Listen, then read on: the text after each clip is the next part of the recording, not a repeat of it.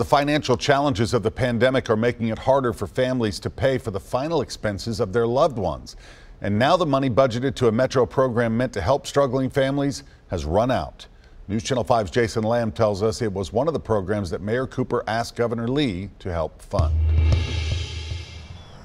This is the final resting spot for many Nashvillians whose families can't afford a proper burial.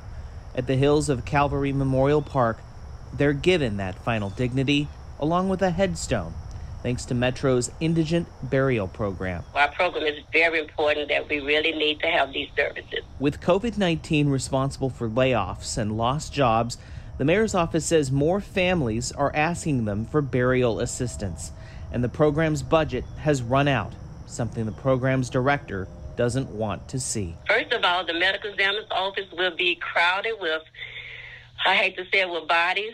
The uh, hospitals, morgues would be overcrowded. You know, that's not healthy, especially during this pandemic time. Buried in a letter last week, Mayor John Cooper asked Governor Bill Lee for $300,000, along with other requests, to continue the program, explaining in the letter, sadly, no more needs to be said here. Along with the other items Cooper asked for, Lee rejected that request. Jason Lamb, News Channel 5.